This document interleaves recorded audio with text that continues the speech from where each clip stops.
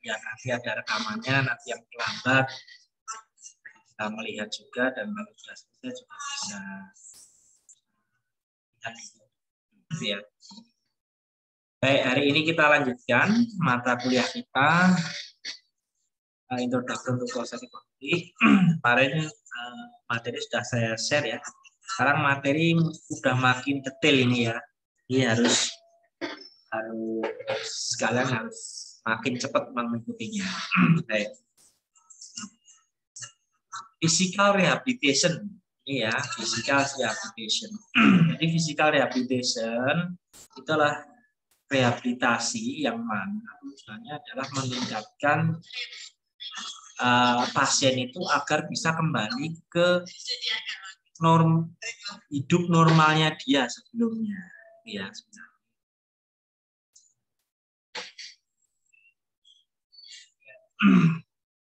Nah, jadi kita itu ortotik prostetik masuknya di physical rehabilitation, rehabilitasi fisik.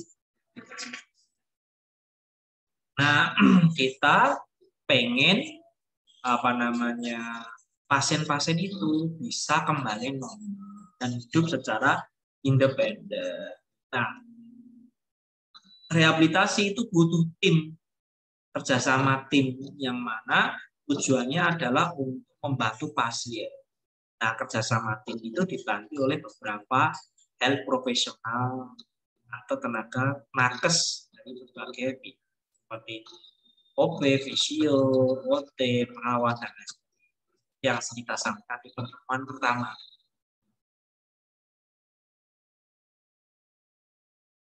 Nah, setiap member dari rehabilitasi itu bisa terdiri dari pasien. Karena dalam rehabilitasi itu kan yang dibantu pasien.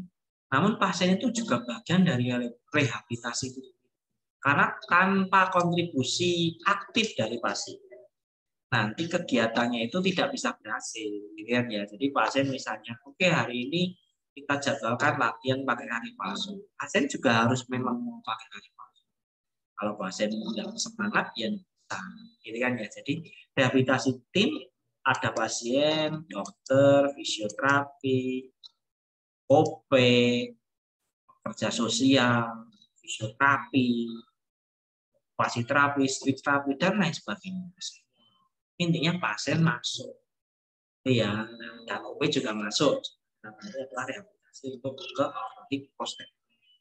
Nah, it depend on who is available and what kind of patient is to be assisted by the team. Jadi tim rehabilitasi tergantung siapa saja yang ada dan pasien yang mau dibantu itu yang seperti pasien itu yang paling utama. Pasien is always most important. Ini rehabilitasi itu yang utama itu adalah pasien. Kunci dari rehabilitasi adalah treatment plan atau uh, jadwal atau rencana, rencana pelayanan. Jadi kalau kita mau melayani pasien diutarakan, oh ini di terapi dulu sama fisioterapi, ya fisioterapi dengan alat bantu oleh ortopedik, dan alat-alat bantu ortopedik lukanya dirawat oleh perawat, gitu kan ya. Terus latihan jalan dibantu oleh fisioterapi dan lain sebagainya. Dan treatment lainnya, termasuk treatment dalam hal ortotik prostetik Plannya adalah pengukuran hari ini. Terus lalu nanti kapan latihan jalannya? Misalnya dua minggu lagi. Nah, harus ada treatment. Treatment mainnya adalah sebuah map atau peta yang mana semua tim setuju dan menggunakan ini pasien ini mengembalikan dia menjadi independen atau dia menjadi mandiri. Jadi ada sebuah treatment rencana treatment yang susun bersama pasien agar pasien itu bisa apa namanya terbantu kembali ke kehidupannya agar dia menjadi mandiri Nah, contohnya pada pasien yang pasiennya itu adalah amputasi dan dia seorang apa namanya petani dan dia ingin kembali ke pekerjaannya di mana kerjanya dia? Dia kerjanya di rice field atau dia sawah. Nah, Jadi dari oh kita punya pasien amputasi yang mana dia dia petani dan petani dia kerjanya di sawah. Nah, profil itu kita ambil siapa yang akan bekerja bersama-sama dalam membantu pasien. Nah, yang pertama adalah medical doctor. Dokternya harus bertanggung jawab apa? Oh, ini untuk yang mengamputasi dan merawat post operatif. Setelah dioperasi, dia melakukan post operatif medical problem yang dialami oleh pasien. Di pasien itu apa namanya dia ya dirawat oleh dokter, karena operasinya kapan, obat-obatnya apa saja, ini ya. Nah, lalu timnya yang lain fisioterapi itu bertanggung jawab untuk membantu kondisi pasien agar lebih fit, nah, meningkatkan uh, daya tubuhnya dia, mengajarkan mereka untuk memakai bandage atau pembalut itu ya, dibalut agar stamnya mengecil. ya. Dan bagaimana menggunakan itu adalah dibantu oleh apa namanya uh, fisioterapi. Setelah pas, pasien itu sudah memakai prostesis, kita dibantu cara berjalan oleh fisioterapinya. Tugas fisioterapi, rule fisioterapi. Nah, bagaimana dengan OP? Tugasnya OP apa? Itu adalah untuk membuatkan prostesis yang mana bisa dipakai oleh pasien. Dia dipakai untuk kehidupannya, untuk bekerja, dan tugas OP membuat alat OP-nya. Nah, OP bertugas melakukan fit initial training, melatih di awal memakai prostesis dan bagaimana cara melakukan OP membuat prostesis, melatih pasien. Tak memakai prostesis, cara merawat prostesis. Walaupun pasien itu adalah disebut terakhir, ya, walaupun pasien itu dalam tim rehabilitasi dia terakhir, tapi dia yang paling utama. Jadi mereka itu bukan tidak penting ya, paling penting. Pasien harus aktif dalam. Jadi pasien ya harus tanya, saran, dan harus mau kerja secara keras untuk kembali ke komunitasnya. Jadi pasien itu harus harus juga bekerja, bekerja maksudnya bekerja untuk mengembalikan dirinya apa namanya kembali baik ini ya Nah, ini unfortunately it is not always possible to form multidisciplinary team. Jadi di Indonesia juga kalau kalian juga nanti bekerja, belum tentu kita bisa semua tim itu ada. Kita kerja di klinik UV, nggak ada dokternya, nggak ada fisioterapinya. Atau kalian bikin praktek sendiri kan cuma kalian Maka ya tetap kita harus bisa melayani pasien, tapi tetap dengan Contohnya ya tidak ada fisioterapi yang ada di klinik jalan dan ya kita bisa membantu pasien pelatihan jalan dan kalau harus dirujuk ya kita rujuk. Nah ini adalah mengenai tim rehabilitasi, tim rehabilitasi yang membantu pasien ke kembali ke kondisinya. Role of PNO, tugas OP. Prostetis otosis itu membantu pasien yang mana mereka pasien itu disabel ya.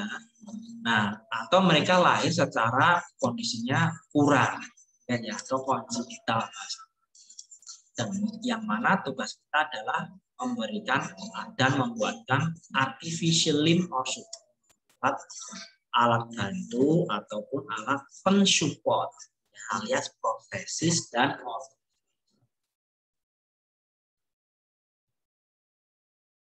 prostetis ada prostetis yang itu mendesain mengkonstruksi atau membuat dan memasangkan alat prostesis itu adalah oh anggota gerak tiruan kaki dan tangan. Sedangkan ortotis itu mendesain, mengkonstruksi, dan mengepaskan alat-alat ortopedi. ya, alias kortosis langsung. Nah, OP itu tadi bekerja dengan dekat, bekerja bersama-sama dengan dokter, fisioterapi, dan semua di tim rehabilitasi. Nah, setelah memeriksa pasien, kebutuhan pasien OP bisa memproduksi uh, artificially memproduksi prostesis ataupun alat ortosis secara mandiri. Jadi OP itu harus bisa mandiri membuat alat OP, alat prostesis atau OP itu juga membuat spesifikasinya. Kalian nanti, oh dibikin alat prostesis, transformer prostesis dengan desain ini, komponennya inilah, dibantu oleh teknik. Bekerja sendiri, ada yang bantu. Empat nanti bantu. Atau ya harus bisa sendiri, secara mandiri harus bisa dibantu ya bisa membuat rancangan agar pekerjaannya bisa berjalan. Nah, lalu alat yang sudah jadi ini dicobakan dan dipasangkan kepada pasien. Setelah berjalannya waktu, perbaikan dan perawatan juga memang harus bisa dijalankan. OP juga selain membuat alat ya harus bisa memperbaiki alatnya pasien yang rusak. Gitu ya. Nah, dan harus ada regular follow up, follow up tindak lanjut. Tambahkan pas dua tahun lagi ke sini atau dua bulan lagi ke sini,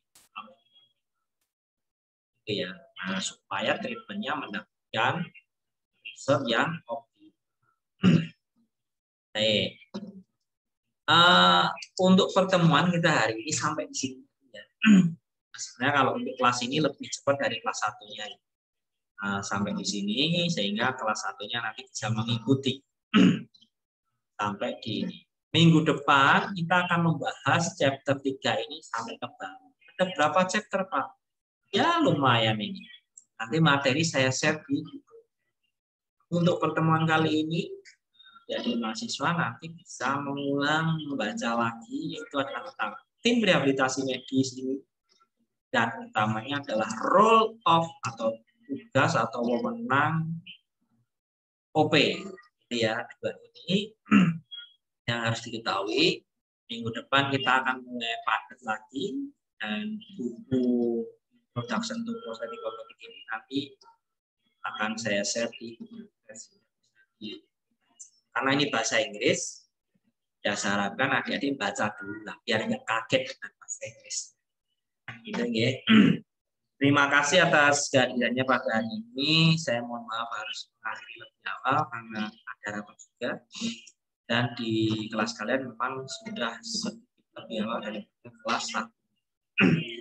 Terima kasih. Assalamualaikum warahmatullahi wabarakatuh. Waalaikumsalam warahmatullahi wabarakatuh.